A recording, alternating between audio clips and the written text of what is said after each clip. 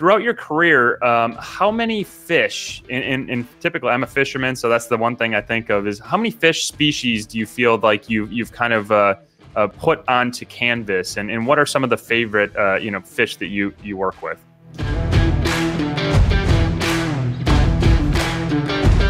That's a great question That's because a very good question. I'd love to hear this answer. as, a, as, a, marine scientist, of course, I was exposed to a lot of fish. Uh, we dived extensively at, at, both marine labs where I worked uh, in Jamaica, Port Royal, and in Discovery Bay. Um, and it wasn't until I started to, to travel to paint more species, especially into the eastern tropical Pacific.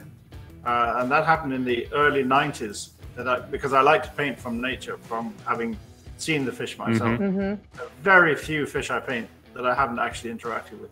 So I already expanded my ability, my repertoire. Of course, traveling to America to look at fish, you know, all the popular game fish like redfish and speckled trout, and um, you know, some of the other species up there that we don't have here in the Caribbean. Mm-hmm. Right. Important for me to go and get reference. Then you move up to the northeast, and then you go to the northwest and some of those expeditions to Alaska were really amazing experiences to paint all the salmon, mm-hmm. uh, sea orcas, humpbacks, seals, yes.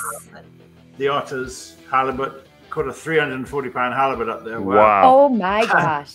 yeah. But just to see all this, to, to, to be able to paint authentically was was part of the, the joy of um, of what we do. And of course, as we got more serious with the scientific um, re- research, they also became even more multidisciplinary in terms of deploying tags and following up and making educational documentaries about these different animals. So it was a progress, but it began in the really the, the late 80s, early 90s with trips to some amazing places. And Venezuela, for example, mm-hmm. was an amazing place to go and fish in the Southern Caribbean when, you know, before things went crazy down there. So, yeah. Sure. Right. Yeah, and, and I think that you brought up a good point too. Is is your work is it is very um, realistic, but beautiful at the same time. Which I guess in a way that's what nature is. Is it's not um, you know the, the colors are very vibrant, but again you know when you're in the water, I look at the picture behind you. That's what it would look like. You know, you have the, the light streaming through from the surface and, and the colors of the fish. I mean, it's all realistic, but in a way, almost uh, surreal.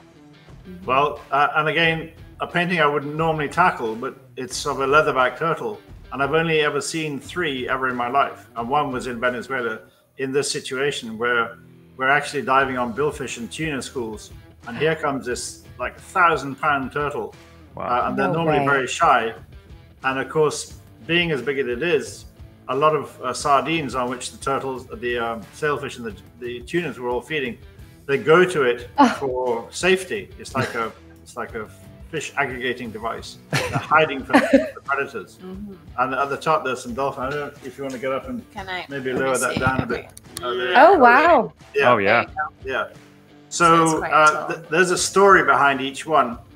And, uh, you know, I, I paint pieces like this simply because I'd never done them before and I had the time during the pandemic to do it. But this has come out of an expedition that was 25 years ago.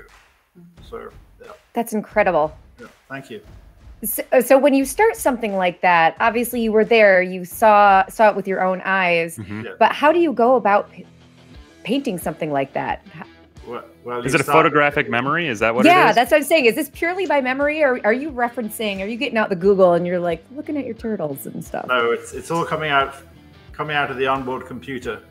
um, again, it's a question. It's a question I got asked many times. Well, do you paint from pictures? I take a lot of pictures. I take a lot of video because we're actually mm-hmm. there to do something else. Um, right. But of course, I do remember what I've seen, and some of the expeditions we've done recently, like with the blue marlins in Costa Rica, mm, free swimming yeah. blue marlins and sailfish. That's amazing.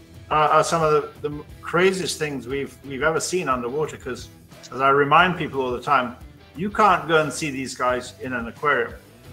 There's no right. way to mm-hmm. reference these animals in like a zoo.